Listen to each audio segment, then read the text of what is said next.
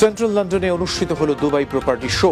ঝুঁকিবিহীন বিনিয়োগে প্রবাসীদের প্রতি আহ্বান ব্রিটিশ বাংলাদেশি ডেভেলপারদের। যুক্তরাজ্যের সেন্ট্রাল লন্ডনে অনুষ্ঠিত হয়েছে দুবাই প্রপার্টি শো। বাড়তি মুনাফার প্রত্যাশায় ঝুঁকিবিহীন বিনিয়োগের আহ্বান জানান ব্রিটিশ বাংলাদেশি ডেভেলপাররা। দুই দিনের এই আয়োজনে ছিল প্রবাসীদের স্বতঃস্ফূর্ত অংশগ্রহণ। লন্ডন ব্যুরো চিফ চৌধুরী মুরাদের প্রতিবেদনে বিস্তারিত।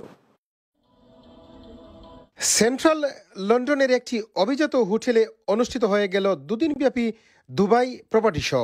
Come and join us and meet our team from UK and from Dubai to uh, experience our exclusive offers, tax free, and many more, which we will have in this exclusive event. দুদিন ব্যাপী Dubai property show অনুষ্ঠিত হয়েছে। ব্রিটেনের অনেক ইনভেস্টাররা যারা Dubai invest করতে চান অনেকে এস- এসেছিলেন এবং- এবং অনেকেই দুবাই প্রপার্টি শো অনেক তথ্য সংগ্রহ করে গিয়েছেন। হয়তো ভবিষ্যতে তারা দুবাই ইনভেস্টমেন্ট করবেন। দুবাইয়ের মাস্টার ডেভেলপার দামাক প্রপার্টিজ ও প্রপার্টি এজেন্ট ইউনিক প্রপার্টিজের উদ্যোগে পাঁচ ও ছয় অক্টোবর অনুষ্ঠিত দুবাই প্রপার্টি শোতে চ্যানেল পার্টনার ছিল শাহ রিয়েল এস্টেট এলএলসি।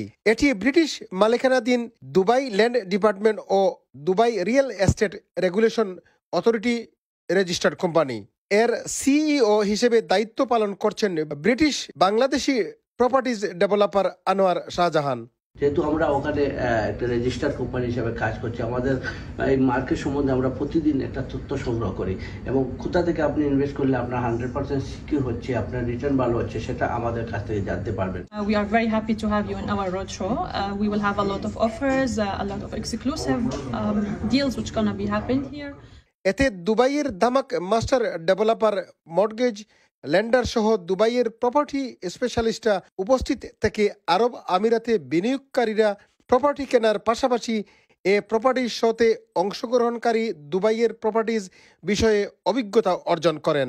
দুবাইয়ে ইনভেস্টমেন্টে যারা আগ্রহী, তারা মুনাফা লাভ করতে পারেন। তার এই ইনভেস্টমেন্টের মাধ্যমে এমনই প্রত্যাশা রাখেন এই প্রপার্টি ইনভেস্টমেন্ট সর আয়োজকরা। লন্ডনের মেরিয়েট হোটেল থেকে Chowdhury Morad Bangla TV news, London.